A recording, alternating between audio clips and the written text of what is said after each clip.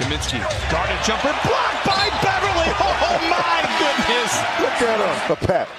I mean, Frank Kaminsky is 6'11". Patrick Beverly pushed him out of the paint and then blocked his shot.